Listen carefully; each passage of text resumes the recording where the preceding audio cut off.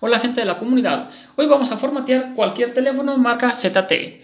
El modelo en el cual yo lo hago es el Z982.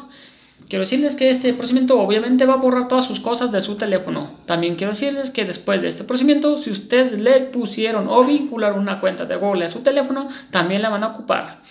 Es la cuenta de Play Store para ser exactos. También quiero decirles que este procedimiento lo pueden aplicar para corregir sí o sí muchas fallas que se presentan en su teléfono por el uso a través del tiempo.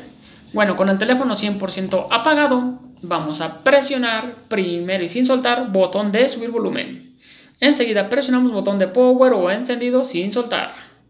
Cuando encienda, soltamos solamente el botón de encendido y continuamos presionando botón de subir volumen. Soltamos el botón.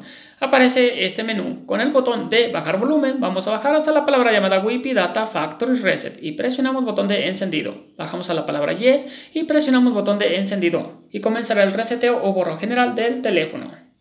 Listo, ahora bajamos a la opción llamada WIPI Cache Partition y presionamos botón de encendido. Bajamos a la palabra Yes y presionamos botón de encendido.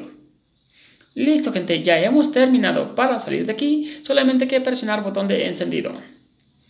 Listo gente, si les fue de utilidad este video tutorial, no olviden suscribirse al canal.